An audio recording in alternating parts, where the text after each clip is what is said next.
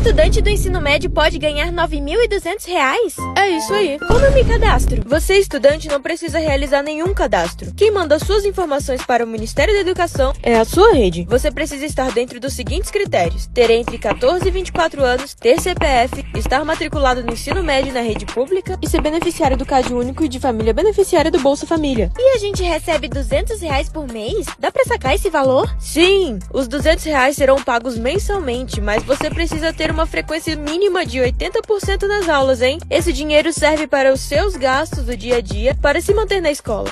No final do ano, se você for aprovado, recebe mais mil reais que vão ficar na sua conta. Os pagamentos começaram no final de março. Por onde eu recebo esse valor? Então, a Caixa vai abrir uma conta automaticamente para todos os alunos. Se você for menor de idade, vai precisar da autorização de um responsável para movimentar a conta. Inclusive, você já pode consultar se você está na lista do pé de meia. Eu tirei as minhas dúvidas. Se você tiver mais alguma, deixa aqui nos comentários pra gente responder.